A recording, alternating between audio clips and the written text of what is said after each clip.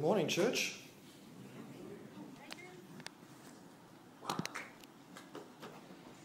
We're in the Gospel of John this morning. We're going to look at quite a few different passages, actually.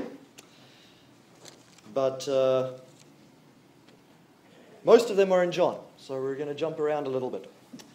This is a message which I've been meditating on for a while, and it comes out of questions that I've asked myself for a long time, ever since giving my heart to the Lord, ever since uh, choosing to join the fellowship of the Adventist Church. Some of the questions that have that have led to my meditation on this topic. And we're going to start here in the Gospel of John, chapter 8, verses 31, 32, and 36. Jesus, of course, is dialoguing with the Jews, with the Pharisees. And uh, as it usually went in such a case, it wasn't always the easiest of conversations. And uh, he got himself into a whole lot of trouble for saying these words. And so here we go. John chapter 8, from verse 31, 32, and 36. Then Jesus said to those Jews who believed him, If you abide in my word, you are my disciples indeed, and you shall know the truth, and the truth shall make you free. Therefore, if the Son makes you free, you shall be free indeed. There are a number of uh, concepts tied up together here. We have the person of Jesus, he brings freedom. We have the concept of truth, which brings freedom. We have the concept of the word, because his disciples are instructed to abide in his word.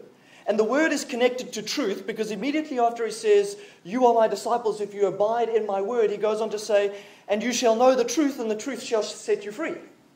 And then you have the idea of discipleship discipleship, the word, truth, and the person of Jesus. Interesting combination of ideas here.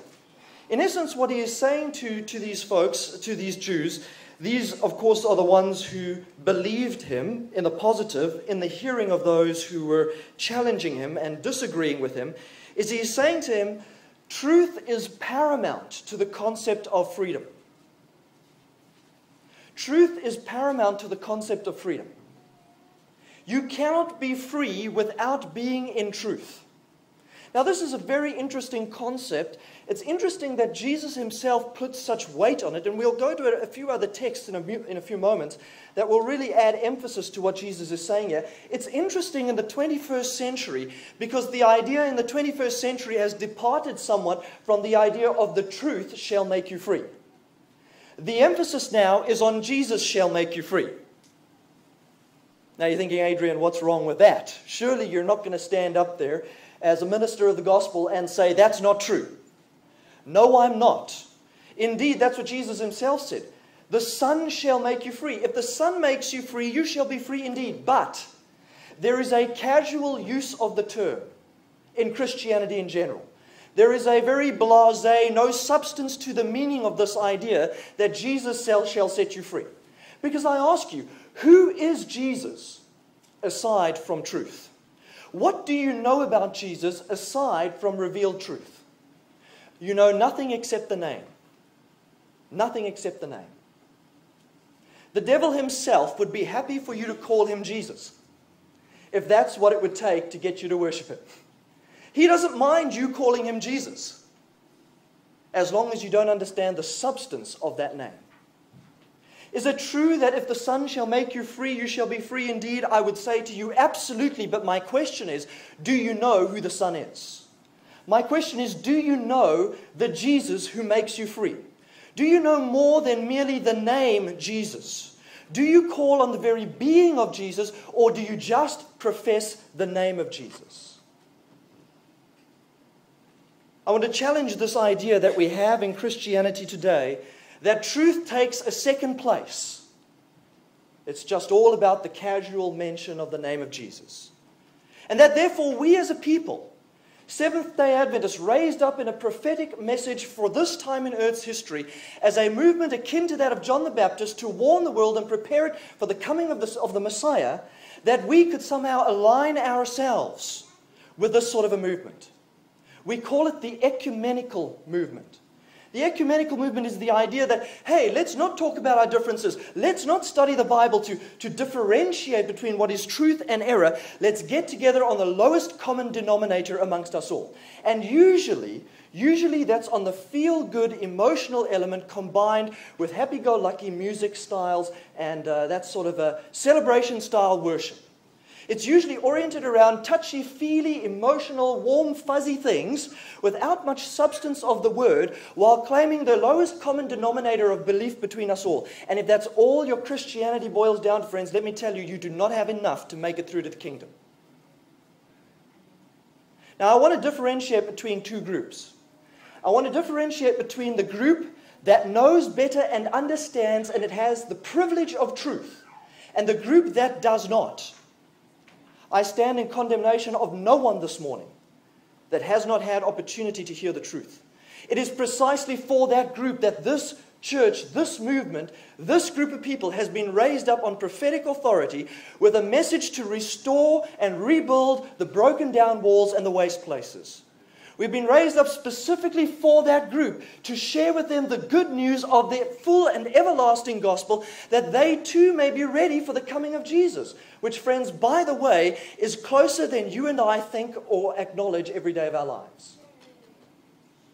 It's around the corner. I have been greatly impressed lately, burdened almost to the point of feeling sick in my soul because I am worried about our preparation. I am worried whether we as a people, the ones who claim the knowledge of the truth, the ones who claim the prophetic calling, the ones who have been raised up with a mission and a message for this world, whether we are ready and prepared to meet the crisis. And I think that the reason we don't have as much influence in the world as we ought to is precisely because of our lack of preparation.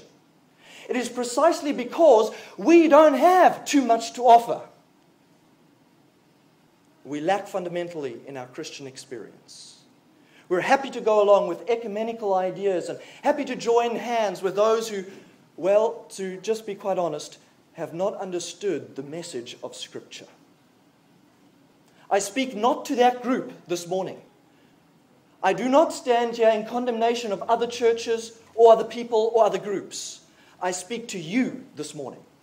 I speak to me this morning a people who have been privileged, a people who have been called, a people who have been raised up for this time in Earth's history, a people who are called Seventh day Adventists because we believe in the entirety of the law of God, we believe in the seventh day Sabbath, and we believe Jesus is coming soon. And I'm asking you, apart from your church membership's name, are you a seventh day Adventist in spirit and in truth?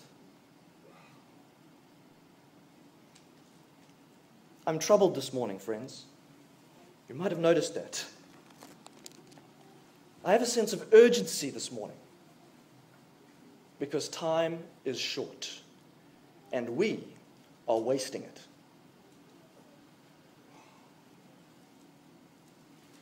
If you abide in my word, you are my disciples indeed. You can call yourself whatever you want. But the condition upon which Jesus Christ uh, recognizes true discipleship is if you're in the Word. If you are obeying the teachings of the Word of God, you can call yourself a follower of Jesus. You can call yourself a Seventh day Adventist. You can call yourself a Christian. But discipleship goes beyond a profession, it goes beyond the intellectual assent to a set of doctrines, it goes beyond the mere understanding of what the Bible teaches. It goes to a practice of the heart. A disciple is one who walks in the footsteps of the Master. He looks like the Master, he talks like the Master, he believes like the Master, he has the mission of the Master. And it is all centered in the Word. A movement, an organization, a teaching, or a lack of teaching that would base our Christian experience on anything other than the Word and taking us into the truth of God's Word is a counterfeit. And believe me, counterfeits don't come along and say, hey, we're of the devil, please follow us. Counterfeits use the right terms, they call it by the right names. They'll even quote a few good verses. But discipleship is based in the Word. You are my disciples, not if you have warm, fuzzy feelings all the time. You are my disciples not if you have jumped up and down and clapped your hands, spoken in tongues, or had some miraculous exercise of supernatural origin. You are my disciples if you abide in my word. That word abide means to live there, to dwell there, to be saturated with. It means that it is not a casual, cursory reading. It means it has been taken in, swallowed in, ingested. It has nourished the being. It is shaping who you are. It guides your thoughts. It guides your decision making process. Every aspect of your life, your business practices, your school choices, the friends you hang around with, the music you listen to, the movies you watch or choose not to watch. Everything is saturated by the guiding principle of the Word of God. You are my disciples if you abide in my word. Not visit once or twice, not quote a few cursory texts. If you abide in my word, dwell there, be saturated by it, be changed by it, absorb it into your being. And then he says, and you will know the truth. See, you cannot know truth apart from the word. You cannot know truth from the mere warm, fuzzy experience that is sometimes associated with Christian exercises.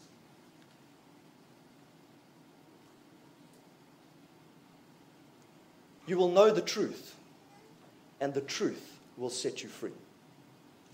The problem with truth is this it also brings a sword. It also brings a sword. And Jesus references that in other places. Truth may not be easy to follow and truth may not be easy to accept because it demands change and hence the lowest common denominator idea in Christianity.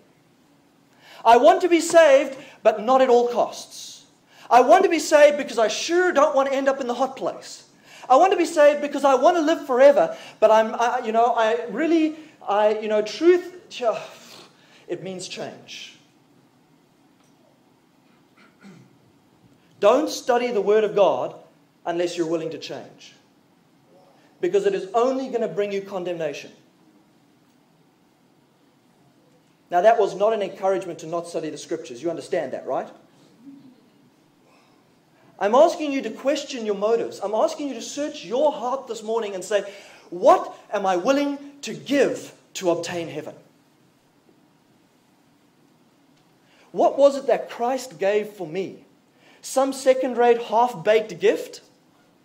He emptied heaven for me. What am I willing to do to get heaven?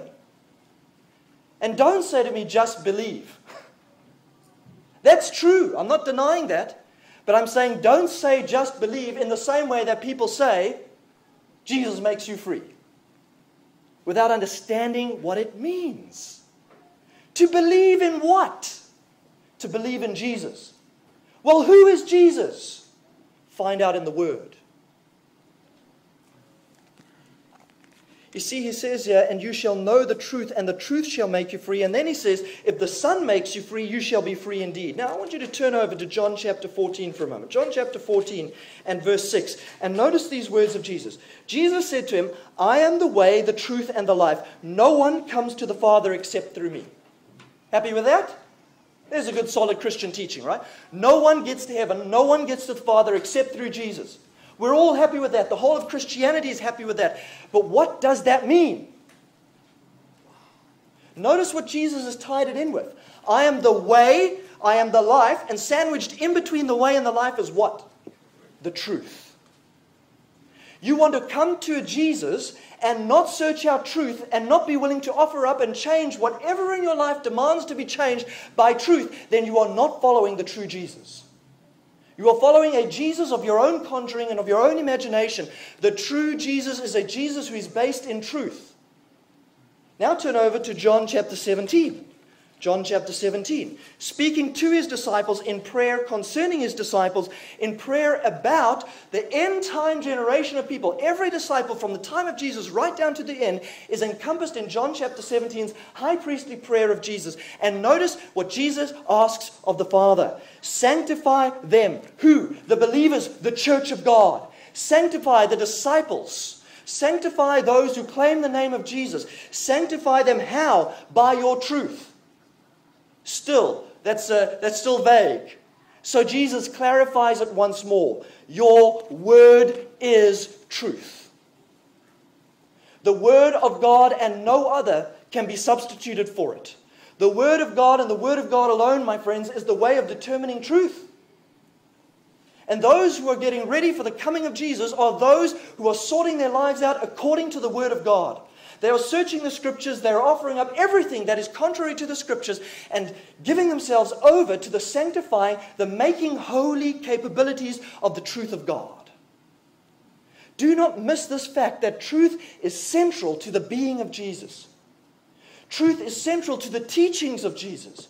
And truth is central to the fellowship with Jesus, which is known as the discipleship of people or the church. The church is a place of truth because it studies the word, which is truth, and it focuses on and surrenders to the person who is truth. And because it is led and empowered by the Spirit who is truth, turn back a page, John chapter 16, verse 13. However, when He, the Spirit of truth, has come, not the spirit of warm fuzzies, not the spirit of celebration, the spirit of truth. You want to know where, where, where the Spirit of God is moving? Ask yourself where truth is being preached, where the Word of God is being preached.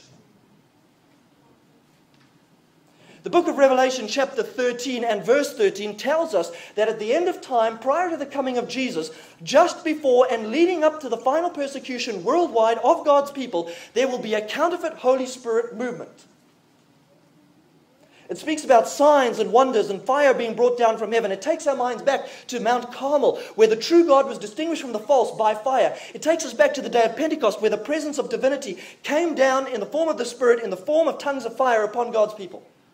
It conjures up that in your mind. The difference, though, is that in this case, in Revelation 13, verse 13, it is not the Spirit of truth, it is not the Holy Spirit, it is a counterfeit spirit, for it says there that by these signs and wonders, he seeks to deceive. So, what happens at the end is the same thing as what happened in the beginning of church's history. The true Holy Spirit was given, true signs, miracles, and wonders were wrought in the presence of people, and it caused them to believe on God. Satan comes along before the true revival that, and, and, and that leads up to the final persecution of God's people, and he pours out upon the world a counterfeit Holy Spirit. And they do what Jesus and the disciples were doing in the beginning of church's history. The only difference is Scripture has warned us you cannot believe what you see simply because you see it. You have to ask yourself, is it truth?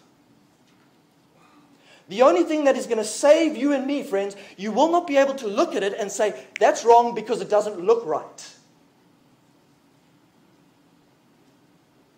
And that movement is in our world today. It is no longer future, friends, it is happening. Look at what is happening in Christian circles. Look at what is happening in the world today. And ask yourself in these churches, in these churches, is truth being proclaimed while the miracles and the gifts apparently are falling? I am not saying that those, those manifestations are not true or somehow they're uh, you know, all phony and made up. I believe they are real. But I do not believe it is the working of the Holy Spirit. Because the Holy Spirit is called the Spirit of truth. And it says here in John chapter 16 that when the Spirit, the Spirit of truth has come, he will guide you into all truth. So, where you have divine, apparently divine manifestations, where you have maybe, I don't know, gifts of tongues and of healings and of all these sort of things going on around you, when you have, you know, ecstatic utterances and, and exciting things happening and people are swaying and swooning and all sorts of things are going on, and you think to yourself, this is the power of God, you've got to ask yourself, is this leading to the preaching of truth or is it setting the people up to believe a lie? Because the Holy Spirit is not given by the Father to manifest himself in a place where truth is not being taught. For if he were to do that, he would be an accomplice to error. He would be giving a reason to believe the lie. I do not mean to be harsh or critical of the churches out there. I've already clarified that. There is deception in the world, but I am concerned, friends, because I've seen throughout history that Adventists themselves are being deceived by this because we are no longer studying the Word of God like our pioneers. We are no longer concentrating on what is truth. And we're happy to go along with a quasi believe in the ecumenical Jesus. And it's going to kill us. Because we ought to know better. unto this people, you and I have been granted great light, clear prophecies. But we like to drink from the waters of Babylon. What is truth? What is truth and who is Jesus? I want to remind you of what happens in Matthew chapter 7. When they come to him at the end, the picture is of the judgment day. And they say unto him, Lord, Lord. And notice what they say. Say, Lord, Lord. Is that then speaking about the non Christian world who have outright rejected Christ? No. It's speaking of professed Christians Lord, Lord, we claimed the name of Jesus. We sang in your churches. We preached the word. We prophesied in your name. We, we, we, we, we, we performed miracles in your name. We, we healed in your name. It even says we even cast out demons in your name. Yes, friends, what I want you to be aware of is you cannot even believe it that just because a demon has been cast out of someone, apparently in a church service, that that is necessarily the working of the Holy Spirit. Because the next thing after they've claimed all those things, Lord, Lord, we are your people. We've prophesied in your name. We performed miracles in your name. We've healed in your name. We have cast out demons in your name. Jesus turns around and he says, Depart from me. I do not know you. And you know what the key is? You know what he says? You know what differentiates between the crowd that he knows and the crowd that he denies, although all are Christian and all profess Christianity? He says, You who practice lawlessness, you practice sin. You give okay to sin. You think it's all right. You teach the breaking of the commandments. They've been nailed to the cross. Don't worry about the Sabbath. Play it down. Don't worry about it. Oh, Jesus paid it all. You don't have to worry about a thing. Now, again, I'm saying to you, yes, Jesus paid it all, but do you know what that means? Because if to you that means a license to continue in sin, then you have not believed the gospel of salvation by grace through faith.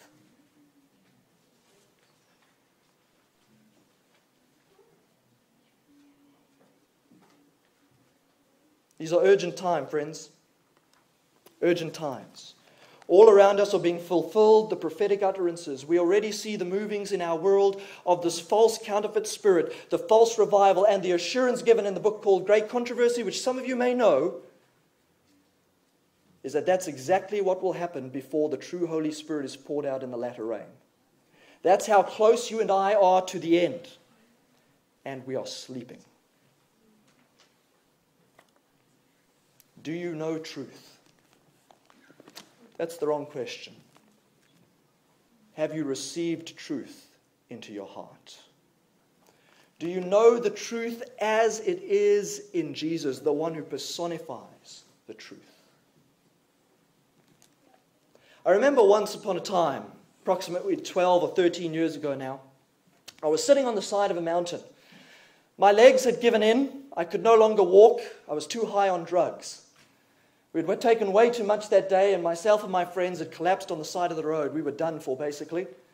So we propped ourselves up on, the, up on the side because people, you know, it's a place where people hike and all the rest, try to look as natural and as normal as possible because we realized we were in a fair amount of trouble. That day, God revealed himself to us in a very marked, remarkable manner. One thing led to another. It's a long story I don't have time to get into, but we were sitting on that mountain as heathen as heathen could be. When God saw fit in His grace to visit with us in our drug induced state of high at a place where we were about to kiss the lips of the death angel.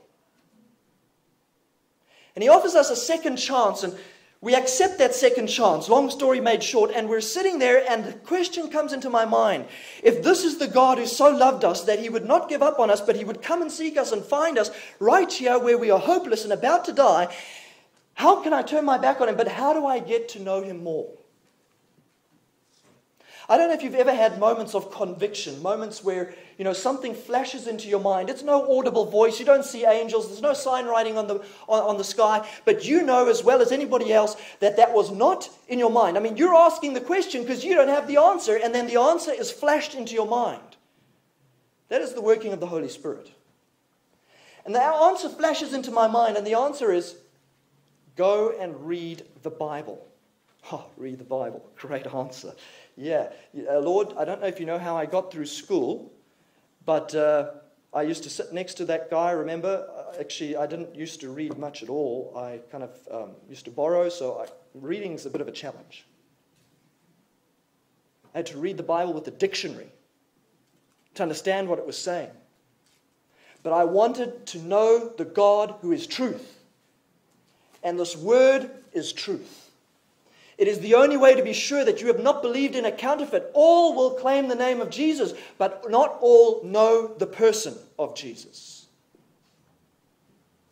The next question in our minds was okay, so if the Word is the Bible, if the Bible is the Word and the Word is truth, and we need to study the Bible to get to know this Jesus, okay, great. I guess this means we have to go back to church, right? Now, we hadn't been to church for years, for many years. And we knew what the faces of the saints would look like the day we walked in. But we realized just the same way that the idea of the truth of the word was impressed on our mind, that just as strongly and poignantly, fellowship is essential. No man is an island. And the doctrine that you can go it alone in Christianity and you don't need the fellowship of, of, of the saints is a, is a satanic doctrine. It is not found in Scripture. You need the fellowship of believers. That's why Christ himself formed the body. To deny that and think you can go it alone is to say you're wiser than the Lord. You need the fellowship of like-minded believers. So just as the word was impressed upon our minds, we know we knew we needed the community now of faith to strengthen us. After all, we were just starting on this journey. It was a great start, but it was really just the beginning. And so we think to ourselves the next important question, which is, well, which church do we go to? You know, there's a million and one in my hometown. And then our early upbringing kicked in. All those times I thought I was ignoring the preacher and sleeping through church kicked in. And a very simple answer came into our minds. And it was unanimous in this group of friends. It was just the weirdest thing. There was no argument, there was no debate, it was as if we were all impressed in exactly the same way. Adrian, you've got to find a place which worships on Sabbath. And it's in the Word, right? There's only one Sabbath. And so immediately we know which church we've got to go to the Seventh day Adventist Church. That was the beginning of an interesting journey for me. All I knew at that point was that they taught the Sabbath. Does that make sense? And the Sabbath is commanded in the law of God. It's taught throughout Scripture. And so, if you're going to be associated with, a, with, with, with, the person of truth who is Jesus, and you're going to abide in the Word of God, which is truth, and if you're going to uh, receive of the Holy Spirit, who is the Spirit of truth, then it only makes sense that you associate with the people of truth. And so we end up back at the Seventh day Adventist Church and we start studying. And I want to I want to I want to show you a few things here. All we knew at that point was that this church called the Seventh day Adventist Church, well, they taught the Sabbath and, and, and the others didn't. And so by that one, by that principle of truth alone, it really narrows down your choice. Does that make sense? You don't have a whole lot of choice after that. There may be one or two options outside of the Seventh day Adventist church, but the reality is, once you settle the issue of the truth and the law of God, and you, you take that principle into account, automatically all the others fall away as the, as the true organized body of believers. Now, listen carefully to me. That was not a statement about the genuineness of the faith of those who are in those places. God has His people and His faithful people in every church, in every denomination. They have not yet heard or understood truth, but they are living up to the light which they have received. You know the story, right? Are we clear on that? But there is a place of truth to which God calls the people of truth who receive Jesus, the person of truth, and abide in the word of truth and are guided by the Spirit of truth. If I didn't believe that, I wouldn't be a minister of this church. I do not say it in a sense of exclusivism. I say it in a sense of invitation to all who are hungering and thirsting for the truth, who are sick of being lied to, even in the spiritual world. And all I knew at that point was that on that basis alone, this issue of truth and the Sabbath day, it narrowed down our choices entirely.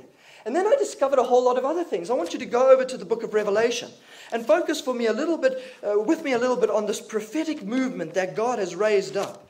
And I started to study the book of Revelation, and I, I found out a whole lot of other things that confirmed me in this. That though many in the world and many in Christian churches have strange things to say about this church, have all sorts of names for it, you cannot get away from the fact that in, in the prophecies of Scripture, it is clearly foretold to arise.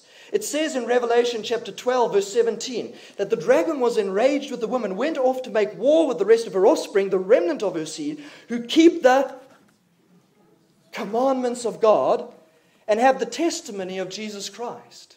Now, this is quite amazing, friends, because here we are on the mountainside. We don't know this prophecy yet. Are you with me? We haven't studied the book of Revelation. We really don't know Genesis from Revelation.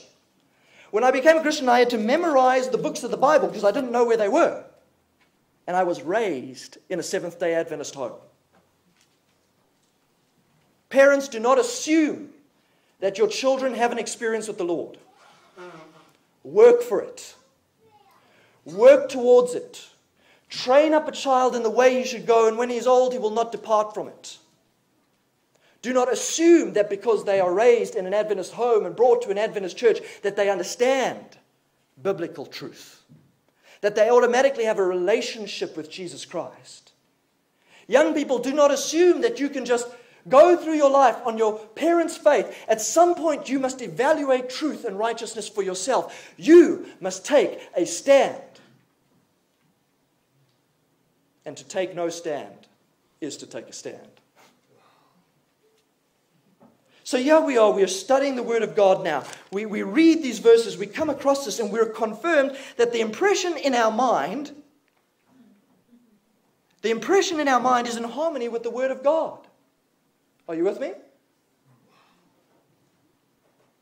The dragon was angry with the woman, the church. He went off to make war with her because that woman, that church, is not in, her, in his camp. He's not worried about the rest who do not keep the commandments of God, for they are in error. They are in his camp. He's worried about the one that stands to be a threat to his kingdom.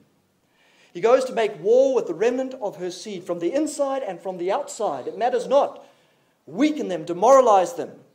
Just get them out of the word of truth. You can identify them because they keep the commandments and they have the testimony of Jesus, which, when you go to Revelation chapter 19, verse 10, you find an interesting story where the angel that is speaking to John comes along. John falls down to worship him, and the angel says this I am your fellow servant. Do not do that. Do not worship me. Don't fall at my feet and give me homage, because I am your fellow servant. That means, that means I am just like you, John. You and I are equals in the mission of God. You see, you and I are fellow servants and of your brethren who have the testimony of Jesus. Same phrase.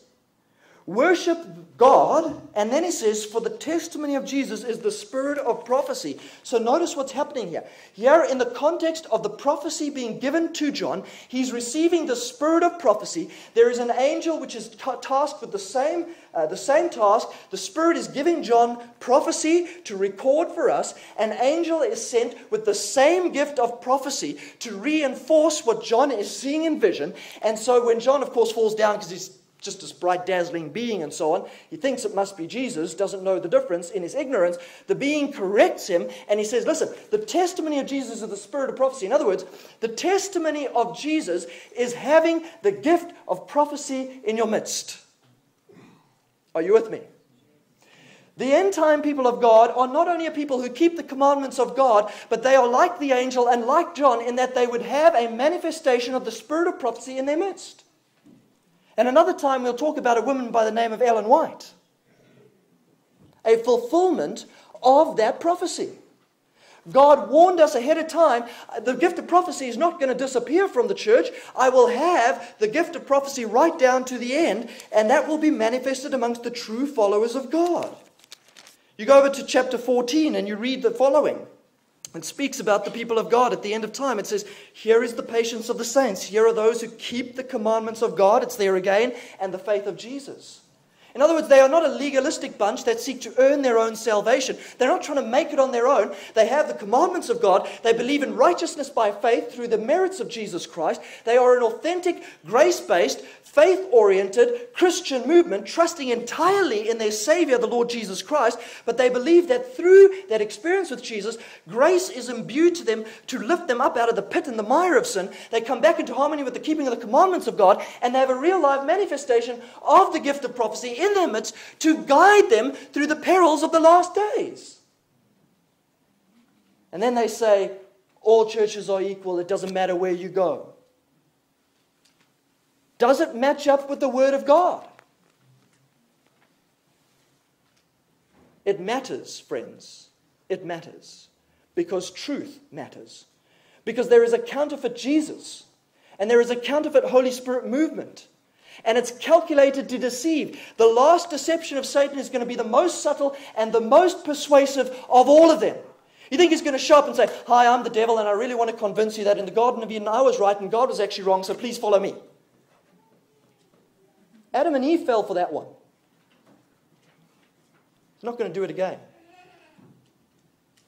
Remember 2 Corinthians chapter 11?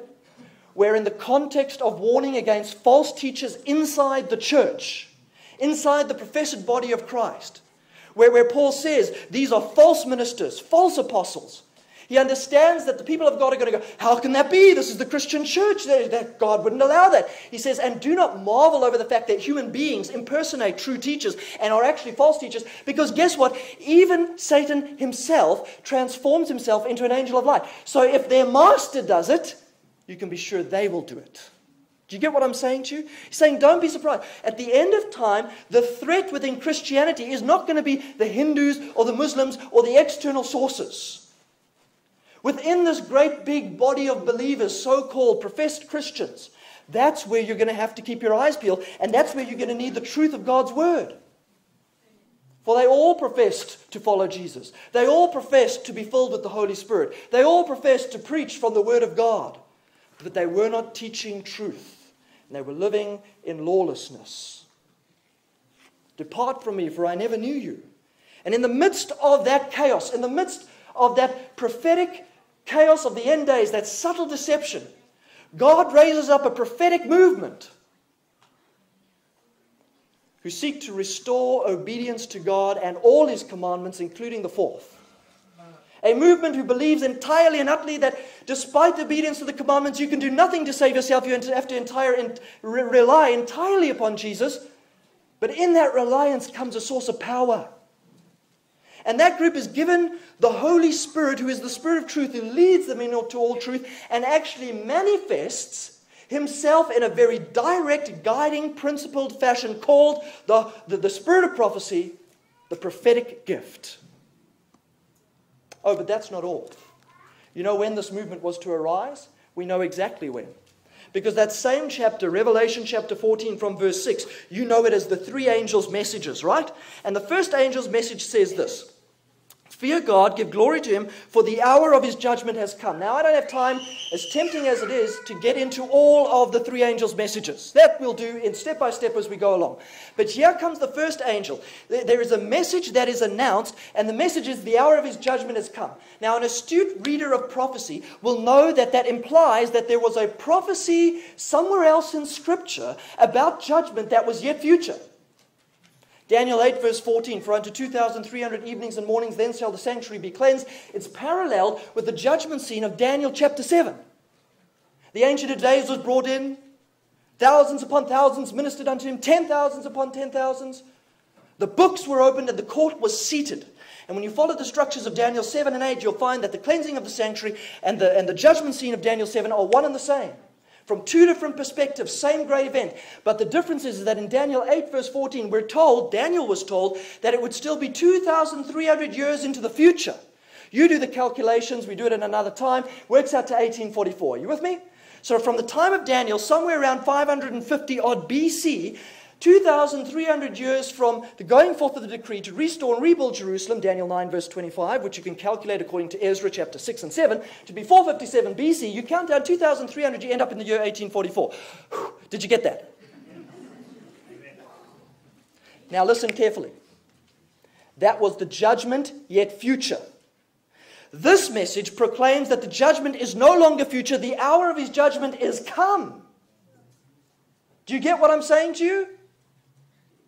There would be a movement that would be raised up after or around the mid 1800s that would preach that the hour of his judgment has come. And there is only one organization, organized body in this entire world that preaches the investigative judgment of Daniel chapter 8, verse 14. It is the one entirely and absolutely unique teaching in Seventh day Adventists, which you will find nowhere else, and it's in this church. You'll find the Sabbath with the Seventh day Baptists. You'll find baptism with the Baptists, hence their name. You will find the idea of sanctification and obedience to a somewhat of a degree with, with, with the Calvinists and with the Methodists. You'll find elements of truth all over the place because if you understand the history of how this movement was raised up, it is absolutely phenomenal. That a group of people in this, th- this time period called the Great Awakening in the United States history, and it was all around the world, by the way, researchers showed us that the same things that were happening in the States were happening in Europe and Africa and around the world, most prominent of which was in the US. That at about this time, a group of believers from different churches, all the churches that had been raised up out of the Reformation, the Lutherans following Luther and, and Wesley and all the rest of them, all these great reformers who had restored elements of truth. They had done what God had called them to do, coming out of the darkness of the Middle Ages. We call it the Dark Ages, not because nothing was going on, but because it is dark from a spiritual perspective. It was dark because Bibles were nailed to, to, to, uh, to monastery walls because the people did not have the printed word. They were not allowed to have it on pains of death. If you were found with copies of the scriptures, you were under or subject to the sentence of death. That's why we call it the Dark Ages for spiritual reasons. And coming up out of that, God raised up men called reformers because they sought to reform the Christian church. Their intention was never to leave the Roman Catholic Church. They believed it was the right church. But when they tried to reform it, they were excommunicated and put to death. They gained pockets of believers who followed them, and they were right insofar as they went, but not one single one of those middle, uh, middle Ages, those Reformation churches, not one single one of them had the full truth restored unto them, like in the apostolic days. And coming out of those dark ages, 1798, the end of Roman Catholicism for a little while, the discovery of the New Worlds, the mid 1800s, a great awakening arises. Genuine, diverging denominational uh, beliefs and backgrounds. Christians coming together to say, hey, let's not be ecumenical. Let's not just go for the lowest common denominator. They came together to study together. Baptists and Methodists, and, well, there were no Adventists at that time. Because God was drawing all of these churches together, and each of them brought with them an element of truth. And they would say, Hey, what do you believe about this? Oh, I believe something different. Let's search it out. And they started studying the Word of God. And out of that came a great revival of truth. All these collections and pieces of truth that God had raised up in different places and at different times were beginning to come back and be formed into one body. As I've studied history, I've come to the conclusion that God's intention was not multiple denominations. God's intention was one Protestant united church in truth, and there would be one church in error. And there would only be two bodies.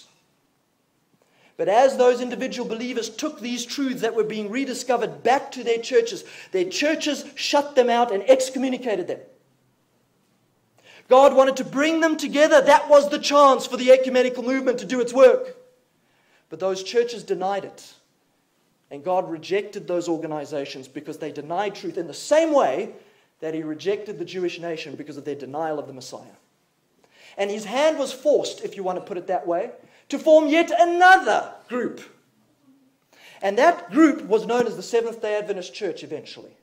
Because they had nowhere else to go, and so they clubbed together and they sought for truth. And you know when it all happened?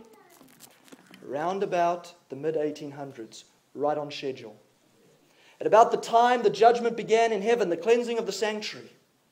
And there is no other church in this world that preaches this message of the three angels and of the hour of his judgment is come.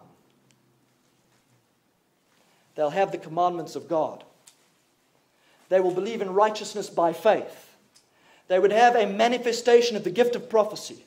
They would be raised up with a unique message to prepare the world for the soon coming of Jesus at exactly the right time between the coming of Jesus and the 1800s. And they would have a unique mission. Because a mission flows out of message, friends. You have nothing to do for anybody else unless you have something to offer. Does that make sense to you? You have nothing to offer the world. If, if, if you sell out on truth, then you cannot win them, they have won you. Make no mistake, friends, God has a body of believers. It's not an arrogant thing to say because He prophesied about it in His word. If you think it's arrogant, take it up with God. Hey, if you think it's arrogant, I'd ask you, what are you doing here? It is a body that is called because they have received truth. And because they have received truth, they have a special mission to the world. And now listen carefully. The attack of the devil in this day and age on this church is to get us to give up on the uniqueness of truth. We are becoming like the Israelites of old who cried out, We want a king just like the other nations. And in doing so, they rejected God. Read the book of Samuel. You are called to be a holy people, a people of truth, a community of faith that stands for the principles of God's word, who has a unique mission to the world, who believes in the coming of Jesus, obedience to his commandments, and righteousness by faith, and follows the scripture and the end day manifestation of the gift of prophecy. And you need make no apology to anyone for believing that. Because it's based in the truth of the word. I want to challenge you, friends, to take up your Bible and to pray for revival.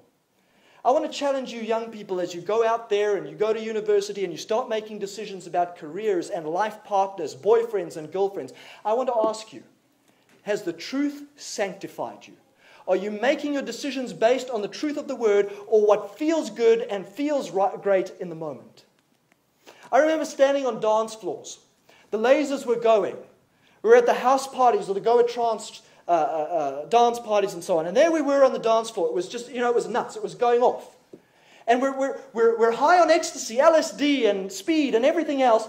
And I remember shouting to my friend across, across the din of the music. We'd be like, dude, this is so, feels so good. How can it be wrong?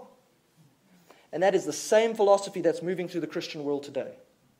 If it feels good and there's a supernatural manifestation, it must be the moving of God. And they forget we're in the midst of a great controversy and the enemy has the power to deceive and he makes himself look like an angel of light.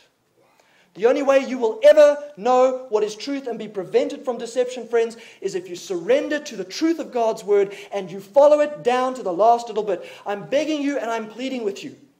Return to our heritage, become a people of the book. Search these things out, study it for yourself. Seek not only a head knowledge, but a heart experience with God. And take up those old fashioned writings called the Spirit of Prophecy and read them. You think you don't need them? Well, God thought you did. That's why He gave it. Read it, study it, apply it. If you think that stuff's old fashioned, you might as well throw this book away too because it's much older but it's for your good. God has tried to stay in contact with you and me through the revelation of His Word. He's given us a way we can navigate the straits of the end time deceptions. And He will take this church and its people into the harbor. Before the end, friend, there will be a mighty revival of the true Holy Spirit. And I want every single one of us here to be a part of that. I want you to sing with us the last two songs, the last, the last, or the first two verses of a song which is dear to me. Give me the Bible. Holy message shining. I want you to think about this, friends. The first two verses. And I'm going to make an appeal to you this morning. I want you to make a decision in your heart. Let's sing these first two verses, and I pray that you will sing it from your heart as a prayer.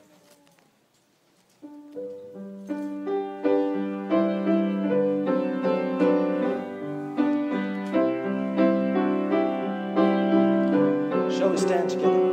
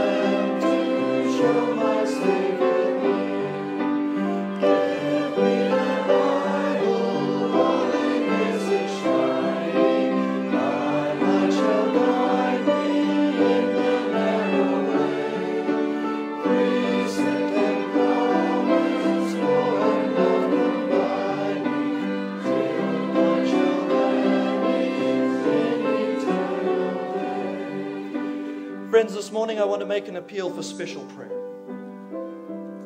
There's anyone here this morning that realizes I need to know Jesus better, I want to ask the Lord to come into my life. i have been walking with the Lord, we're not questioning that.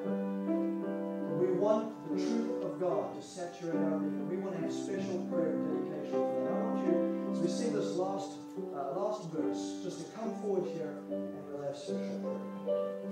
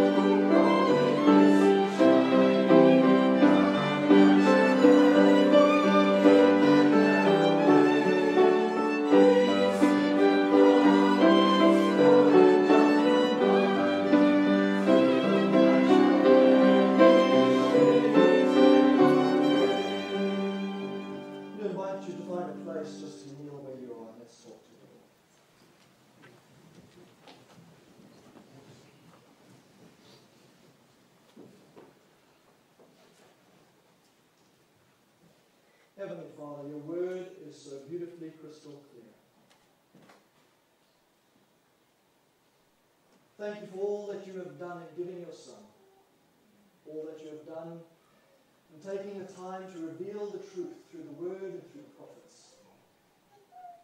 And we have to acknowledge this morning, Lord, the preacher has to acknowledge that we, that I, am slow of hearing slow to accept, Lord, at times, rebellious of heart, insistent on my own way. And we come this morning to confess our sin and debt. We humble our hearts, Lord, and we pray that you will do whatever it takes in our lives to get us ready for your coming, your soon coming. Let not one of us or any of our families be lost, Lord. And may that work begin in our hearts afresh today. Teach us the joy that there is in surrender, the freedom of following truth, the protection that comes from walking within your grace and your mercy, within your word. Make us disciples who abide in your word is our prayer.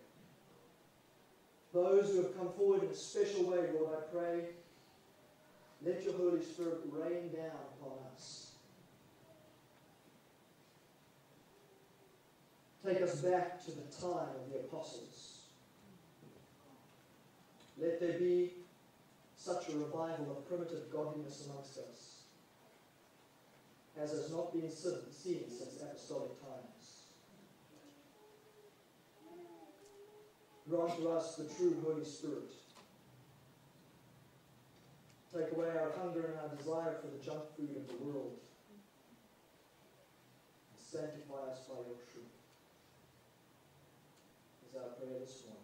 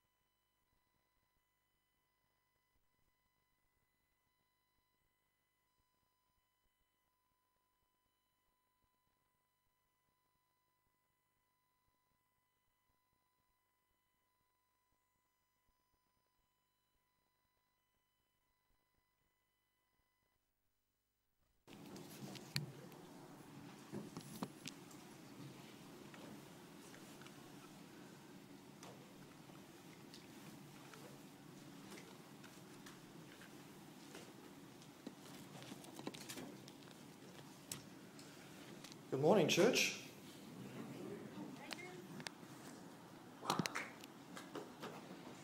We're in the Gospel of John this morning. We're going to look at quite a few different passages actually. But uh, most of them are in John, so we're going to jump around a little bit.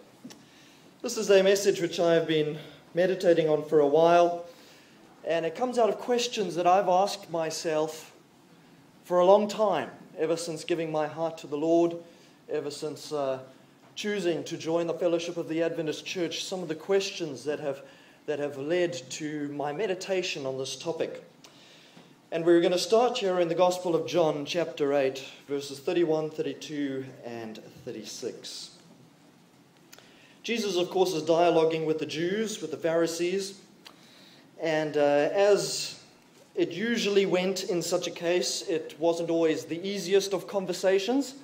And uh, he got himself into a whole lot of trouble for saying these words. And so here we go John chapter 8, from verse 31, 32, and 36.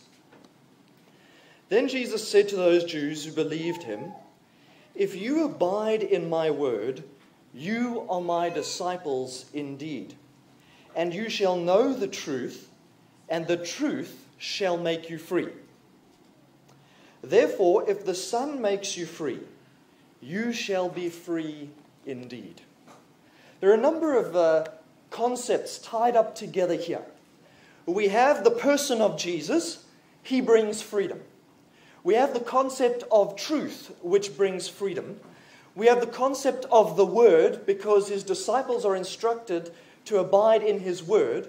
And the word is connected to truth because immediately after he says, You are my disciples if you abide in my word, he goes on to say, And you shall know the truth, and the truth shall set you free. And then you have the idea of discipleship. Discipleship, the word, truth, and the person of Jesus. Interesting combination of ideas here. In essence, what he is saying to, to these folks, to these Jews, these, of course, are the ones who believed him in the positive, in the hearing of those who were challenging him and disagreeing with him, is he saying to him, truth is paramount to the concept of freedom. Truth is paramount to the concept of freedom. You cannot be free without being in truth. Now, this is a very interesting concept. It's interesting that Jesus himself puts such weight on it, and we'll go to a few other texts in a, in a few moments that will really add emphasis to what Jesus is saying here. It's interesting in the 21st century because the idea in the 21st century has departed somewhat from the idea of the truth shall make you free. The emphasis now is on Jesus shall make you free. Now you're thinking, Adrian, what's wrong with that? Surely you're not going to stand up there as a minister of the gospel and say, That's not true. No, I'm not. Indeed, that's what Jesus himself said. The Son shall make you free. If the Son makes you free, you shall be free indeed. But there is a casual use of the term in Christianity in general. There is a very blase, no substance to the meaning of this idea that Jesus shall set you free. Because I ask you, who is Jesus aside from truth? What do you know about Jesus aside from revealed truth? You know nothing except the name. Nothing except the name. The devil himself would be happy for you to call him Jesus if that's what it would take to get you to worship him. He doesn't mind you calling him Jesus as long as you don't understand the substance of that name. Is it true that if the Son shall make you free, you shall be free indeed? I would say to you, absolutely. But my question is, do you know who the Son is? My question is, do you know the Jesus who makes you free? Do you know more than merely the name Jesus? Do you call on the very being of Jesus, or do you just profess the name of Jesus? I want to challenge this idea that we have in Christianity today that truth takes a second place. It's just all about the casual mention of the name of Jesus. And that therefore we as a people, Seventh day Adventists, raised up in a prophetic message for this time in Earth's history as a movement akin to that of John the Baptist to warn the world and prepare it for the coming of the, of the Messiah, that we could somehow align ourselves with this sort of a movement. We call it the ecumenical movement.